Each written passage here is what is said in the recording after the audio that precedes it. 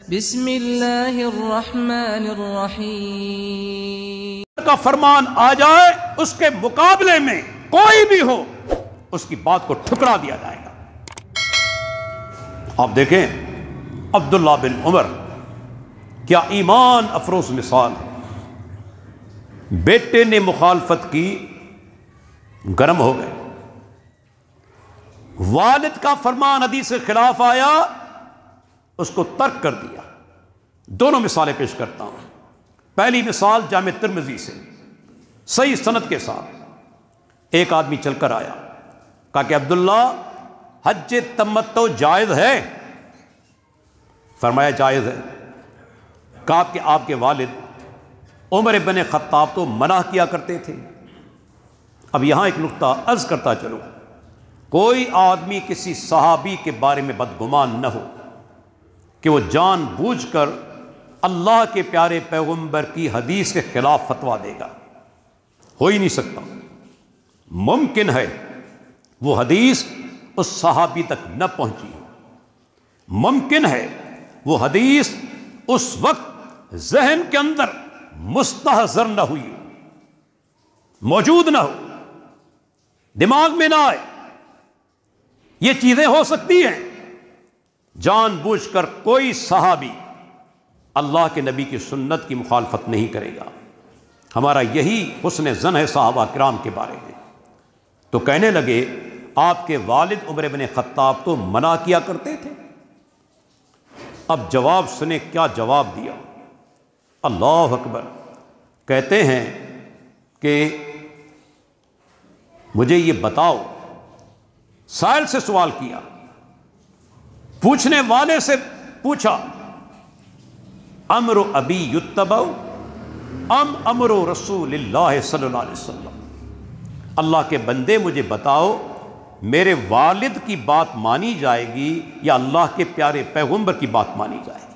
بس مجھے یہ جواب دو۔ کا بات تو مانی جائے گی اللہ کے نبی کی۔ یہی جواب اسے دینا ہی ہے نا؟ ہر مسلمان کو دینا ہے۔ تو جواب دے لقد صنع رسول اللہ صلی اللہ علیہ وسلم۔ تو پھر جان لو، اللہ کے پیارے پیغمبر نے یہ کام کیا ہے۔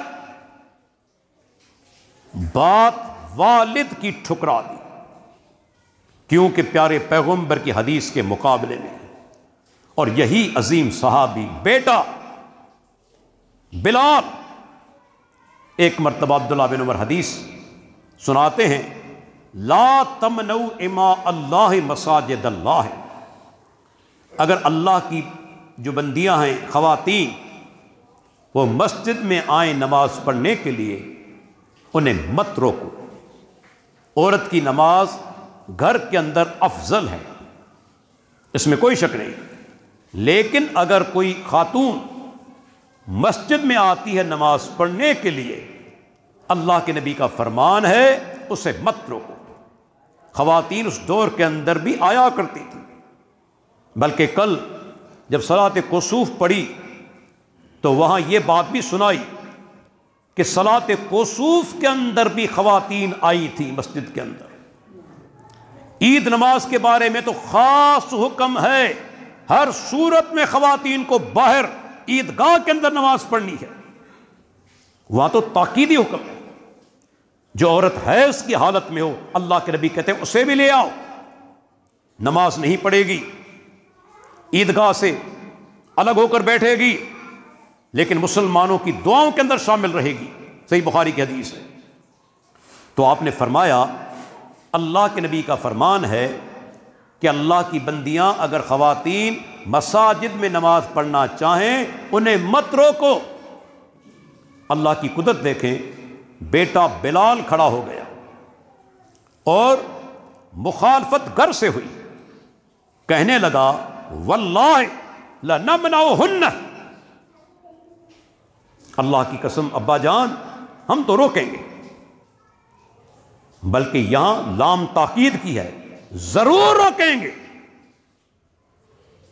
ضرور ضرور روکیں گے۔